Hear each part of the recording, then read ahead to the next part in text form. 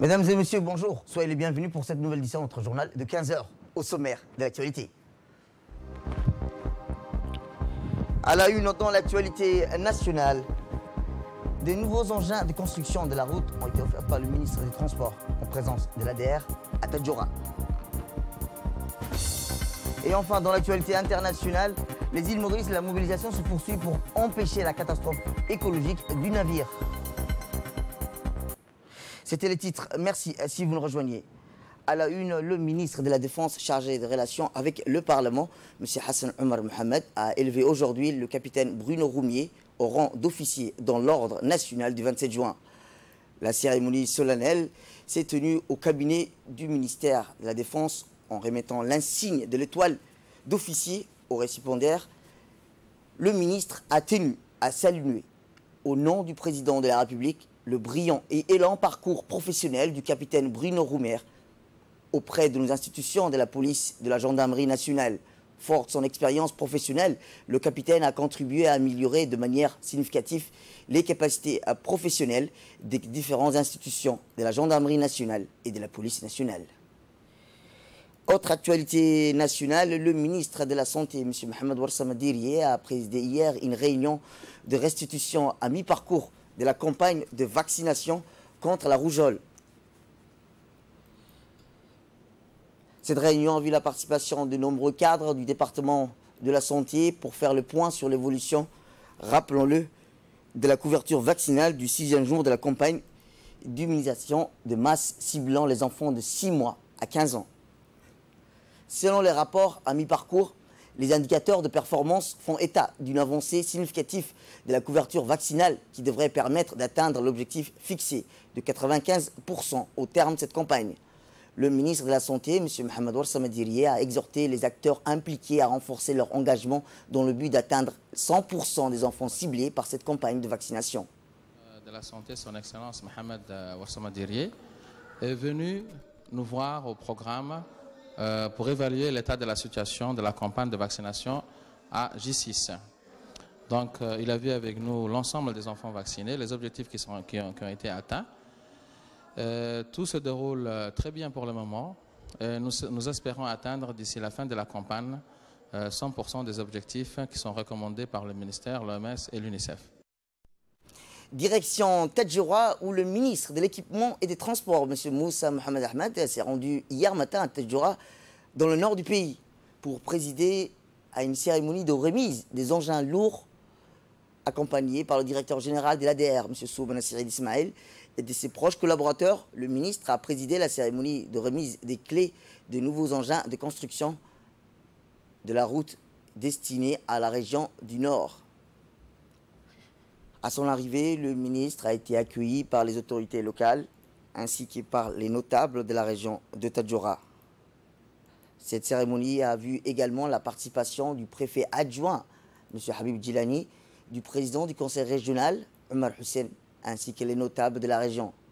Cet investissement compte un parc neuf composé d'une niveleuse, d'un chargeur, d'un excavateur, de trois camions bennes la cérémonie s'est clôturée par, rappelons-le, la remise des clés aux responsables des autorités locales de la base de la ville de l'ADR de Tedjora. De son côté, le président du conseil régional de Tedjora, en l'occurrence Omar Hussein, a dans son intervention salué l'effort de l'ADR qui n'a ménagé aucun effort pour remplir l'attente de la population tadjouroise en matière de matériel susceptible de renforcer la politique de construction des routes.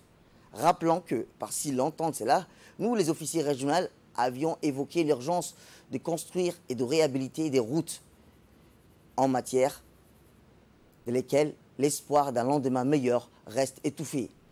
Nous savions qu'investir sur des projets, a-t-il dit, des constructions de routes est synonyme au développement social économique régional, a-t-il dit.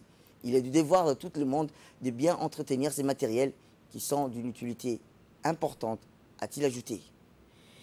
De son côté, le préfet adjoint de Tadjoura a déclaré, le préfet adjoint de a déclaré que la campagne de l'ADR, d'où on peut recevoir les lots des matériels sophistiqués pour la construction des routes.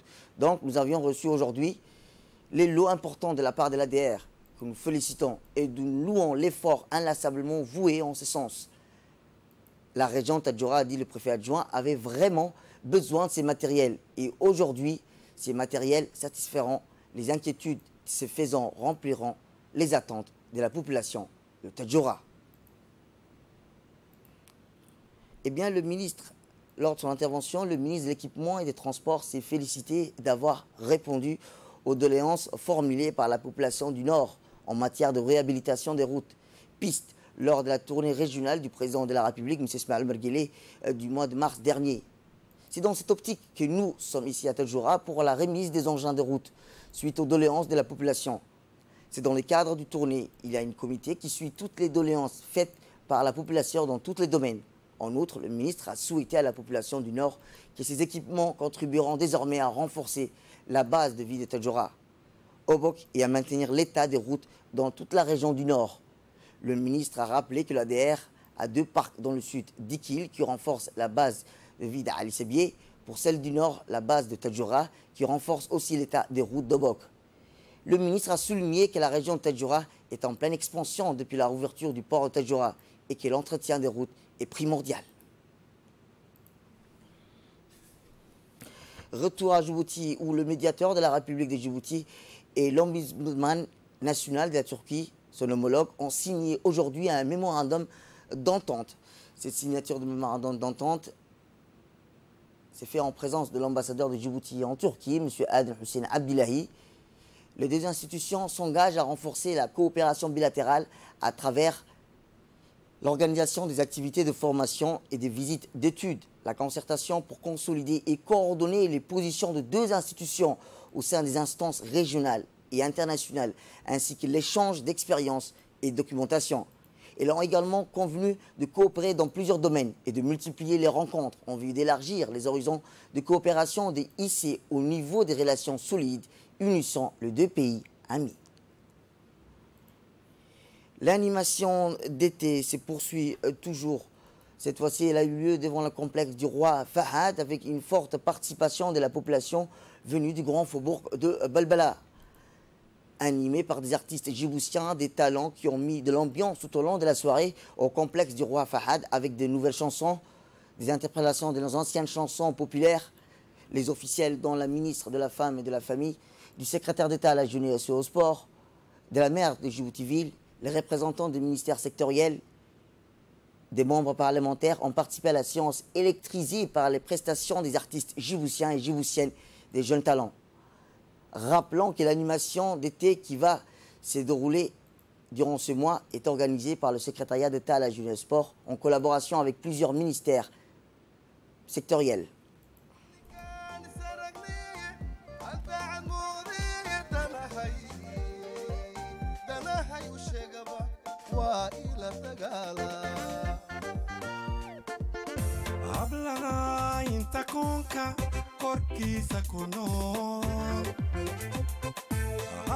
Hablaga inta koonka korkiisa ku nool haddaan kugu koobay koobay kaskiyo maankaygo kalsooni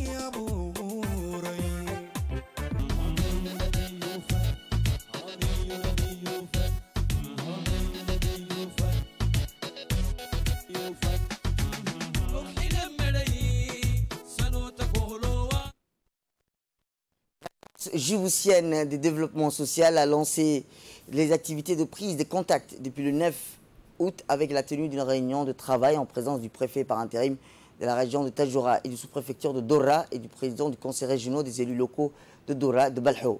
L'objectif essentiel de ces projets est d'améliorer l'accessibilité des jeunes et des femmes aux opportunités de création de revenus d'emploi, et ceci à travers des formations de soutien financier ainsi d'accompagnement de proximité pour la mise en œuvre et la pérennisation de leur activité génératrice de revenus.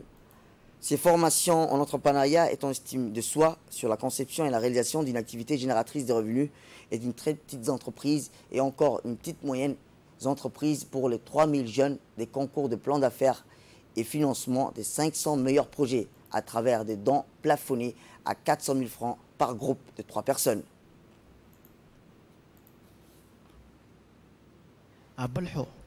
Et euh, Dora s'inscrit dans le cadre du lancement des activités de projet Forge. C'est un projet de formation des jeunes, mais aussi des femmes dans le domaine de l'entrepreneuriat. Le projet Forge est un projet qui a pour objectif de favoriser l'émergence des petites entreprises au niveau de la région de Tadjoura et surtout au niveau du corridor et dans les deux grandes villes, qui, à savoir Balho et Dora. Euh, il faut savoir que nos formations durent deux mois. C'est des formations axées dans le domaine de la création d'entreprise, dans le domaine de la gestion d'entreprise et aussi dans le domaine de l'estime de soi. À l'issue de ces formations, l'équipe du projet Forge ou la formatrice du projet Forge compte développer des plans d'affaires et monter des plans d'affaires avec les jeunes. Et à l'issue euh, des, plans d'affaires, une fois qu'on monte les plans d'affaires, nous organisons des concours de plans d'affaires. In fine, nous comptons créer 25 petites activités génératrices de revenus au niveau de Balho et au niveau de euh, euh, Dora. Les candidats qui souhaitent participer à nos formations peuvent s'inscrire au niveau du CDC de Dora ou au niveau de Balho. Et pour clore l'actualité nationale, dans la page sport, la Fédération djiboutienne de football a organisé depuis dimanche une formation de cours théoriques des entraîneurs et des arbitres de la région d'Alicébier au Centre de développement communautaire.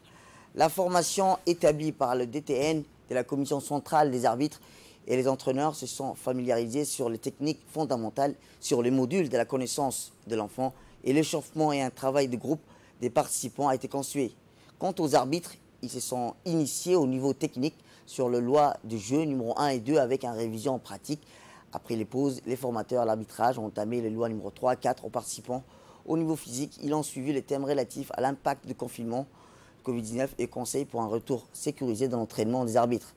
La cérémonie du lancement a vu la participation du préfet de la région, Moussa Adel Miguené, du sous-directeur régional du secrétariat régional du sport de la région, M. Ahmed Moussa Obsier, du président de la Ligue régionale du football, Djibril Omar Houch.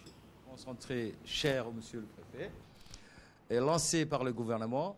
Et par ailleurs, cette formation technique est un accompagnement pour les techniciens, entraîneurs et arbitres chargés d'encadrer les jeunes joueurs engagés dans le championnat régional de et pourquoi pas les tournois qui se déroulent dans les quartiers, dans vos différents quartiers pour un peu encadrer la jeunesse d'Alice et de leur initier que le football, c'est avant tout le respect de l'autre, le respect de l'arbitre et l'application des règles du jeu.